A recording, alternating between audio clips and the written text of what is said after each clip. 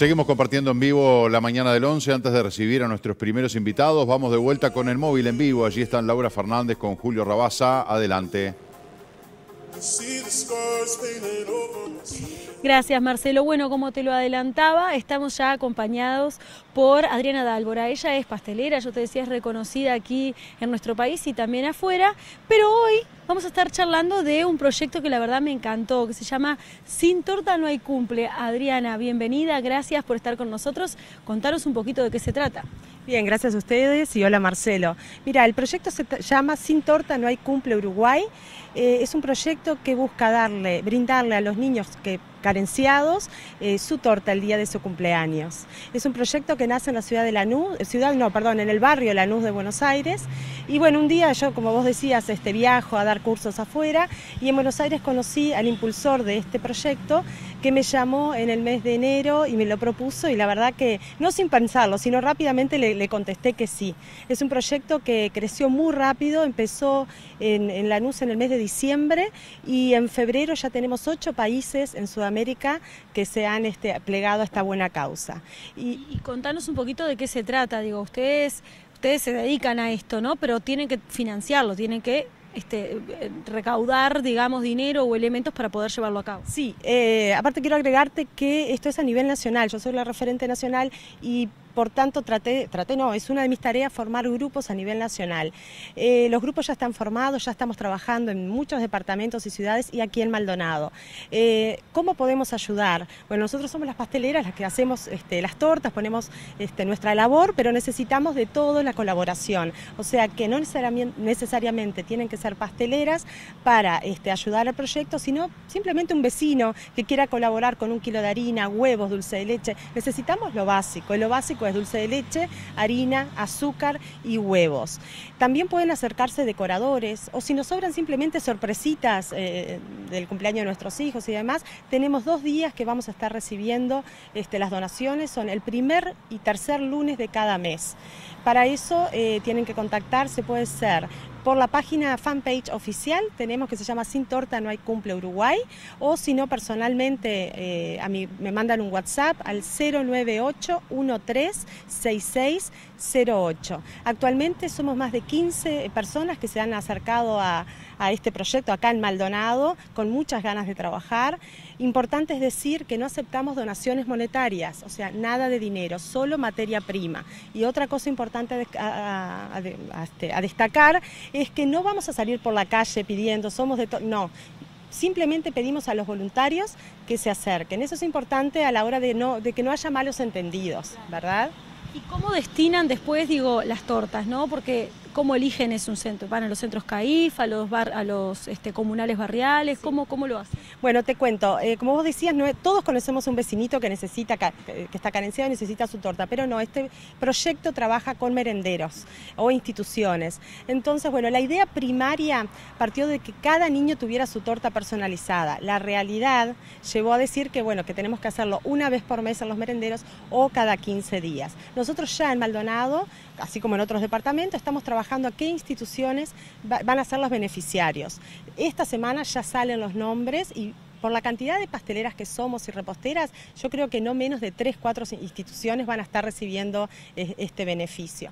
Otra cosa importante, que tenemos metas a, corto, mediano y largo plazo. Nosotros ahora estamos trabajando lo que es metas a corto plazo, que es que los niños tengan la experiencia de su cumpleaños, que se apropien de, de su cumpleaños y de su torta. Pero a mediano plazo es hacer talleres con los papás de estos niños para enseñarles cómo hacer una torta, unas galletitas, unos cupcakes y la de largo plazo es que esos niños ya no necesiten ni de merenderos ni de personas como nosotros para eh, festejar su cumpleaños. Y eh, eh, las instituciones, por ejemplo, que están mirando, ¿cómo hacen para llegar a ustedes? ¿También a través de la fanpage? De la misma manera, entrando a la fanpage en Facebook o comunicándose eh, conmigo, o hay un montón de pasteleras, como te decía en Maldonado, que ya tienen el logo puesto en su Facebook. Si conocen a cualquiera de ellas, se comunican que estamos, esto es una red de solidaridad y de gente buena, como decimos, nos comunicamos enseguida y hacemos todo lo posible para, ayudar o para recibir donaciones, este, que es lo que nos interesa. Quiero también hacer hincapié de, y, tirar, hacer un tironcito de, orejas a, negocios locales que todavía no se han acercado. Realmente se acercó muchísima gente, pero personas como, como vos, como yo, personas particulares o pequeñitas empresas, pero quiero que las grandes empresas que hay en Maldonado relacionadas al rubro de la gastronomía o de la repostería pongan la mano en el corazón y ayudemos en este momento que el invierno va a ser difícil ser difícil y que más allá de, una torta, de festejar el cumple, es ese mimo al alma, ¿no? Que reciben, uno sabe las caritas de ellos, con eso ya nos pagan. Yo digo que la mayor satisfacción que tenemos, este, hablo en primera persona, pero seguro que estoy hablando en nombre de todas las pasteleras, es la cara de los niños o de las personas mayores cuando reciben la torta. Y estos niños muchas veces no tienen esta posibilidad. Entonces, eh, nuestro anhelo es que esos chicos puedan soplar las velitas, pedir tres deseos y creer que en un mundo mejor y que esa torta es de ellos. Eso es súper importante súper importante. Adriana, muchísimas gracias por haber charlado con nosotros y muchísimas gracias también por acercarnos a esta iniciativa que estoy segura que va a ser un éxito y que del otro lado mucha gente se va a sumar. Así que gracias. Bueno, gracias a ustedes por, por este, este, bueno, ahora me tranqué justo al final, por esta entrevista. Muchísimas gracias. Saludos a Puyares en el piso. Gracias. Gracias. Y bueno, y si hablamos de gente buena y gente que hace cosas, yo creo que vos ahí en el piso tenés unos cuantos. Así que yo voy a volver contigo, Marce, y te voy a decir una cosa antes que nada. Esto no es para, para crear discordia ahí, pero ojo, Puyares. Ojo con la nena que está ahí. Bueno, eh, nada más que eso te lo voy a decir. nada más. Arrancaste perdiendo, quiero que lo sepas. Arrancaste perdiendo. Ya voy adelante tuyo porque la tengo acá conmigo. Cuando le pregunté, apareciste en el móvil y dije, mira quién es. Miró y me preguntó, ¿quién es? No me doy cuenta. Le digo, es Laura Fernández. ¿Qué Laura? Me dice. Le digo, Laurita Fernández, Luli. No, no te ubicaba mucho. No, mentira. Ella se defiende acá y me dice que no. Bueno, Laura. peleador. sí, pero es una buena. Eh, Laura, muchas gracias. Un beso grande para Adriana Dálvora. Felicitaciones por esta iniciativa, por supuesto, donde más allá de las manos en la masa le ponen todo el corazón y realmente eh, descontamos que va a ser un éxito y apelamos a la solidaridad que se necesita para estas iniciativas. Volvemos con ustedes dentro de un ratito. Ahora vamos a venir al piso porque el jueves de la semana pasada fue el día de las enfermedades raras y el AME, la atrofia muscular espinal, es una de las enfermedades raras. Y hemos hablado de este tema con Omar Hernández, lo hemos hablado también con su mamá, con la esposa de Omar, con Isabel, lo hemos hablado con Claudia Besón, que también nos acompaña, y viene Luli, Luli Hernández, que nos ha acompañado en más de una ocasión también en este programa. Bienvenidos, un gusto que nos acompañen de nuevo. Muchas gracias. ¿Cómo estás, princesa? Viste que Laura me hizo así, como que no la peleé. ¿Vos qué decís? No sé. ¿De quién sos tú? De los dos. ¿De quién? De los dos. Ay, mi amor, es tan tierna. Tú sos de tuya, tú no tenés dueño, tú sos tuya. Eh, bueno, em, como ustedes saben, bueno, Luli padece AME. Eh, Omar eh, es la cara visible, pero es uno de los luchadores incansables buscando una mejor calidad de vida para los niños y las niñas que padecen esta enfermedad más allá de que lo viven en carne propia, tienen un compromiso que trasciende eh, lo que es eh, su hija. Lo mismo pasa con Claudia, que tiene a su hijo Lucas y que también es una madre que silenciosamente lucha de manera incansable y que, bueno, la verdad que sangre, sudor y lágrimas, ¿no? Este, nunca más gráfico eh, aquel título para describir lo que pasan estas familias para darle una mejor calidad de vida a sus hijos. Hay un medicamento, el Spinraza, que es de un valor económico inalcanzable para prácticamente la totalidad de las familias que tienen algunos de sus integrantes que padecen eh, AME y que, eh, bueno, era el gran escollo, ¿no? Pero tanto va el cántaro a la fuente, tanto va el cántaro a la fuente que al final se rompe y por suerte se rompe para compartir buenas noticias, Omar. Muy buenas noticias, sí. Este, eh, bueno, eh, desde FAM Uruguay somos 34 familias y por las 34 familias luchamos. Eso, a cada entrevista que vamos con alguien del, gobierno, es el ministerio, este BPS, lo dejamos bien claro. Acá no es ni Luca ni, ni Lucía, son 34 familias.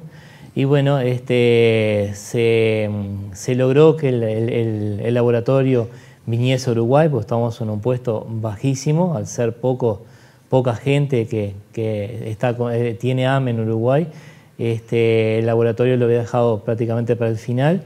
Este, se logró con tanto este, conversación como el laboratorio que lo pusieran para arriba. Este, el año pasado se logró que el ministerio este, aceptara este, dialogar con el laboratorio con respecto a la, registración. Se hizo en modo rápido, el laboratorio, que ustedes fueron llevando todo ese camino. Este, por suerte, en julio del año pasado se registró en Uruguay este, el medicamento Spinraza. Y bueno, este, en diciembre se presentó el primer recurso de amparo, este, un chiquito de un año y medio de Artigas, Loan. Este, y bueno, en febrero, en enero, ya estaba recibiendo sus dosis de Spinraza. Este, ya va por la cuarta, ahora, a recibir la cuarta este, inyección. Y hemos visto ahora acá, de primera mano, siempre hemos visto en Argentina, en Estados Unidos, los chiquitos cómo avanzan, pero ahora tenemos acá nuestro criollo, este, que realmente los, avances han sido impresionantes eh, en el control cefálico. Este, está comiendo solo. Ahí veíamos unos videos donde tiraba pelotas. Bueno, Claudia, que es la que estuvo con, con el chiquito desde primer, este, la primera aplicación, este, puede contar los avances, han sido este, impresionantes. Esto, este, ponerlo en palabras es muy difícil, ¿no? O, poder aquilatar la realidad de esto que está contando Omar con palabras este, es muy difícil porque eh, es una cosa tan importante, es un paso cualitativo y cuantitativo tan gigante que se ha dado que, bueno, eh, tratar de explicarlo, el ver el avance de ese niño, de cómo ha mejorado desde que le empezaron a administrar el medicamento, es realmente fabuloso, ¿no? Sí, el, primer día que le dieron la medicación fuimos a, acompañarlos, ¿no? Como institución, como familia. Y tú sabes que era eh, el, niño se le caía la cabeza, los brazos no los movía, o sea, era algo que dolía en realidad. Y este, después la segunda dosis, eh, yo ya no daba crédito. Y ahora cuando los papás nos mandan los videos de, este, de que levanta los bracitos, aparte hasta baila, hace movimientos, tira las pelotas, es algo fuerte. Sin duda. ¿Cuánto vale el Spinraza? El Spinraza, el, el precio que recordemos que al ser recurso de amparo es por juicio no es un, precio que negoció Uruguay. Está bien, digo, pero una dosis de Spinraza hablan de 70.000 euros. Una dosis de Spinraza, un poquito más. Una dosis de Spinraza en Estados Unidos son 125 mil dólares y a Uruguay se lo deja a precio de Europa, que son 105 mil euros. La dosis. Este, el primer año el paciente recibe seis dosis, primer año de, tratamiento, ¿no? Este recibe seis dosis y después son tres dosis por año. Ahora, eh, seis dosis a ciento y pico de mil euros, estamos hablando de un palo verde por año, ¿no? O, en esas seis dosis, ¿cómo se hace? Porque hasta ahí todavía no me cierra cómo las familias, estas 34 de las que hablabas tú, van a poder acceder a ese medicamento más allá de los recursos de amparo que se están presentando. Con el aguinaldo, este, No, sí, eh, obviamente acá el Estado es un papel fundamental, ¿no? Yo sé que nosotros estamos tratando con una empresa que es el Estado. El Estado es una empresa donde vea este costo y beneficio. Este, lamentablemente, bueno, la, visión de un médico no es la visión de la familia. Yo creo que los médicos deberían, como le, dijimos a, la doctora Ferola, que es la que está adelante de Crena del Ser, este, del ex de Mequi, este, que ellos tendrían que hacer un trabajo de campo, ¿no? Este, involucrarse más con la familia y ver los avances clínicos, ¿no? Este, ellos se basan únicamente bueno, en evidencia científica y de ahí no lo saca. Entonces estarían descartando una cantidad de, de, nuestras familias porque, claro, para ellos los beneficios no es este, rentable. Los beneficios, ellos los miden en plata, ¿no? O sea, no en calidad de vida. O sea, lo de Loban dice, bueno, pero no, no, no, no a ver cuánto gano haciendo que Loban pueda moverse. No, no, no me sirve. Es patético, no es lamentable, es, eh, no sé, no sé cómo calificarlo así midieran los costos-beneficios, digo, siempre se tienen que dar cuenta que lo que gasta el Estado en un niño enfermo sin darle espinraza siempre va a ser más, porque tiene internaciones de CTI, tiene eh, cirugías, eh, tiene eh, aparatos, sillas, traqueotomías, infinidad de cosas que en la vida ese niño va gastando. Yo personalmente lo que, lo que lleva gastado el Estado con Lucas, creo que ya habría pagado más de una dosis de Spinraza. Y Lucas relativamente bien, ¿no? Sí, sí. Entonces no miden costo-beneficio. Aparte hoy en día se está pagando, em, se está pagando el juicio, el Estado a su vez paga el juicio y paga el medicamento.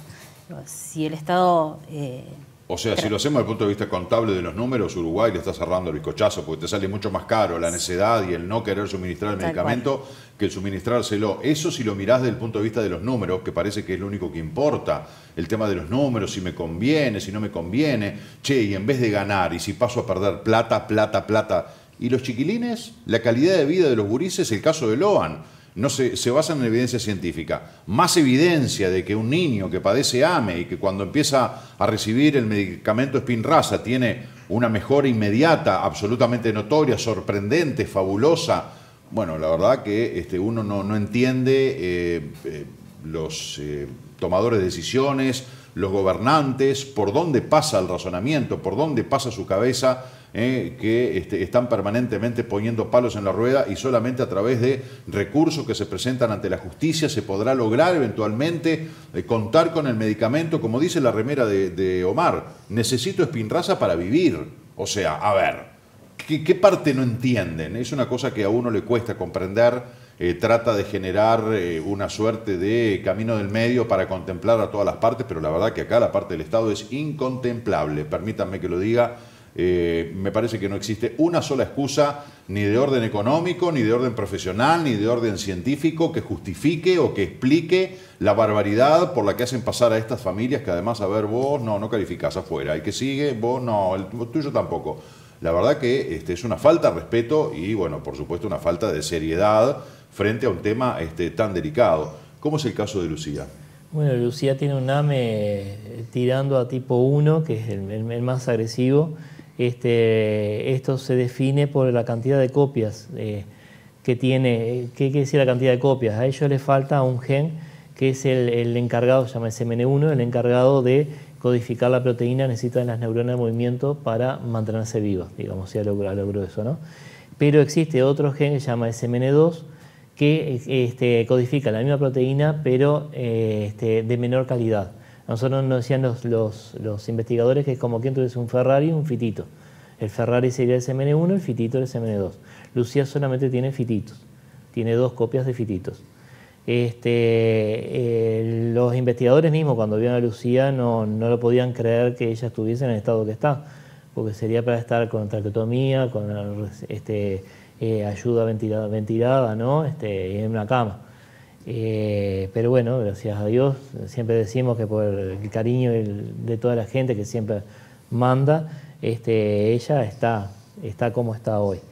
Pero cuanto más chiquitos se, eh, reciben el medicamento, este, un bebé que recién nace, que, que le detectan la atrofia muscular espinal, recibe el medicamento y prácticamente este, no, no va a llegar a padecer nada de los síntomas de la atrofia muscular espinal. Este, una cosa que yo quería dejar este, bien en claro, que nosotros no es que nos presentamos con FAM Uruguay, porque ya de una hicimos recurso de amparo. Nosotros agotamos todos los caminos, hablamos con Carámbula, hablamos con Kian, hablamos con la otra Ferona BPS, hablamos con representantes políticos de todos los, los partidos, en las juntas departamentales, prácticamente 19 juntas departamentales hicieron exposiciones sobre Spinraza. Intentamos de toda manera hablar con el ministro, con Vaso. No lo logramos nosotros, pero no lo lograron ninguno de nuestros representantes políticos. Ninguno llegó a hablar. De acá de la Junta de Maldonado fue una, una comitiva al ministerio a hablar con, con Vaso y no recibió un representante en lugar. O sea, nosotros hemos agotado todos los caminos para que Uruguay se sienta a dialogar con el laboratorio. Sabemos que en algunos países hasta un 40% han bajado los costos de la, medicación y Uruguay se niega a sentarse a hablar con el laboratorio. Eso nos perjudica a todos los uruguayos, porque tú que pagas impuestos, todos que pagan impuestos, están pagando por un medicamento que puede costar mucho más barato lo que está costando hoy en día. Este, eso a nosotros nos duele porque eh, ahora volvemos a la misma ronda. Tenemos ahora una, cita el 12 con, con- con el doctor Kian. Este, siempre representantes, nunca podemos llegar a- al Al ministro, ministro. Este, para que nos oiga esta- estos reclamos.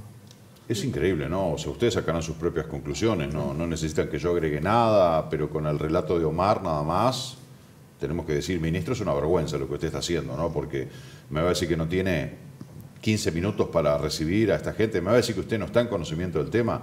Usted que es un profesional de la medicina, que ocupa un cargo de suma responsabilidad, de los de mayor sensibilidad en lo que es un gobierno como es el área de la salud pública, y me va a decir, eh, ministro, que no tiene tiempo para recibir a las familias, que tampoco ha recibido a los legisladores, a los representantes políticos.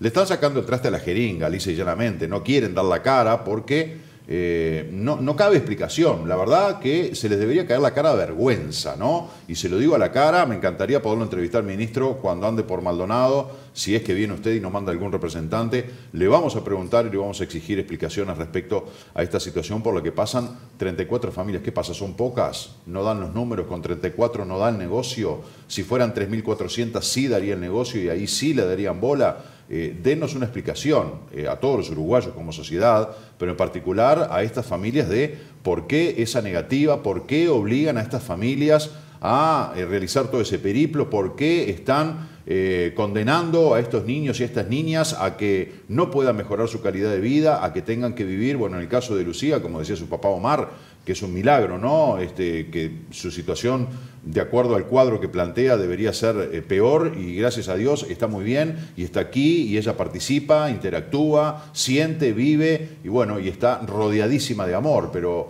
eh, la verdad es una falta de sensibilidad brutal, ¿no? Tantas veces hablamos de tantas cosas al santo cohete y que de repente no hablamos de este, estas sumas de dinero, pero bueno, en definitiva, aquí manda el dinero. Isabel, eh, bueno, me imagino que, tú como mamá de Lucía, que te vemos poco porque siempre es Omar el que se anima un poco a salir de más a los medios. Le dejamos ese lugar porque él ocupa muy bien al puesto. Se maneja muy bien, sin duda. Sin duda, se maneja muy bien, pero bueno, tú sos una gran parte responsable de lo que es la calidad de vida que tiene hoy Lucía. Somos un equipo, yo siempre digo que si no estuviésemos juntos es, muy difícil porque este, ellos son muy, muy este, demandantes a veces y son muy inteligentes, entonces se hacen sentir. Entonces somos un equipo y bueno, vamos trabajando juntos. Yo quería decir, Marcelo, que la, medicación eh, científicamente está probado que detiene la, evolución de la enfermedad. Entonces ya eso es evidencia suficiente como para que se la puedan administrar, ¿no? Porque realmente estos niños, digo, la capacidad de ellos eh, a futuro, lo que va a ser también a futuro, futuros profesionales, porque ellos eh, se puedan desenvolver sin ningún problema, también lo tienen que ver en ese sentido. Están limitando posibles niños que a futuro van a ser seguramente grandes personas y grandes profesionales y eso no lo, no lo están teniendo en cuenta. Y este, eh, los avances de, esta medicina, así como otros que se vienen a futuro, son, son impresionantes. Digo, no hay, no hay razón para no, no administrarlo científicamente está probado, detiene la enfermedad. Y ya para nosotros eso ya es más que suficiente. Ya, eh, hasta ahí eh, vamos a poner lo que se sabe científicamente. Detiene la enfermedad, eso ya a nosotros nos es sumamente importante. ¿Qué te parece? Ahora, si, si sumamos todo lo que decía Claudia, mucho más, ¿no? Sí, sí. Parece que... No, no, no hay, no hay punto, no hay punto de donde se puedan agarrar eh, me queda la esperanza eh, en, lo interior de que en este periodo este, que ya iniciamos de campaña, de que a todos los políticos les gusta salir, hablar y les gusta este, meter bocado y hacerse los que yo conozco todo y sé hacer todo, sepan que cuando vengan a este living van a tener que responder. Eh, este, los que son candidatos, los que fueron gobernantes o son gobernantes, bueno, los que tengan responsabilidad de alguna manera sobre este tema, sepan que van a ser interpelados en este living por este comunicador porque la verdad que no le encontramos explicación. Nos gustaría tener a alguien, bueno, y de la otra parte, ¿qué dicen? ¿Qué responden a esto que es solo una parte, ¿no? Porque hay más gente, más familias, más niños y más niñas, algunos en una situación más precaria que la de Lucía. ¿Qué le responden? ¿Cómo hacen para mirar a la cara a un padre como Mara, a una madre como Isabel o también a una madre como este, Claudia y decirles, no, no le vamos a dar el medicamento a tu hijo? ¿Por, ¿por qué? Nos encantaría, porque además eh, a ellos tampoco les ha respondido, porque ninguno dio la cara. O sea, todos mandan a un representante, o, ¿viste? Mandan a uno ahí de, un rango medio, toma, ah, que mate vos, que te relajen a vos y después me contás a ver cómo te fue, bueno, para eso estás. Pero no dan la cara a quienes realmente la tienen que dar. Lucía, ¿cuándo empezamos las clases? El 8. El 8, el viernes. ¿A qué año vamos? A quinto. Oh, quinto. ¿Y? ¿Estás con ganas? Sí. Las vacaciones fueron muy largas, me parece, ¿no? Mucho tiempo sin los amigos. ¿Eh? Sí, igual se quedaron los primos allá en casa. Ah, bueno, ya los con los primos la llevaste de otra manera la temporada, ¿no? Qué bueno. ¿Y a qué escuela vas a ir? Al Biarritz. Al Biarritz, claro. Qué bueno. ¿Estás con ganas realmente de empezar o preferís las vacaciones? Las dos. Los dos. Bueno, ahora empezamos y ya tenemos vacaciones de vuelta, así que vos no te preocupes. En Semana de. Turismo paramos de vuelta y después en julio paramos de vuelta y en septiembre paramos de vuelta, más los paros que haya de los profesores. Vos tranquila, que vacaciones vas a seguir teniendo. En el medio de las clases vas a tener vacaciones. No tiene suerte, no hay paros allá. Ah, ya no hay paro. Bueno, una buena noticia. Eh, Lucía, me encanta verte. La verdad que sos un ángel. Gracias. Tu mirada, tu sonrisa, siempre ella sonriente, siempre buena. Es una niña tan querible, tan querible. Eh, a mí la verdad este, me emociona mucho cada vez que viene aquí al canal y comparte con nosotros estos ratitos o cuando de pronto hemos hecho algún móvil que está Luli allí, siempre nos manda besos y charlamos con ella. Eh, quiero decirte que yo también te quiero mucho. Me sumo a toda la gente que te quiere mucho, ¿sabes? Y hay mucha gente que está mirando el programa que debe estar diciendo, ay, qué divina esa niña, si pudiera dar un beso y un abrazo. Así que, no sé, capaz que les podemos decir que vengan, tenés un ratito, y que hagan cola ahí en la puerta para darte un abrazo. ¿eh? Y le firmás un autógrafo, mirá, con esa mesa espectacular de acrílico que tenés.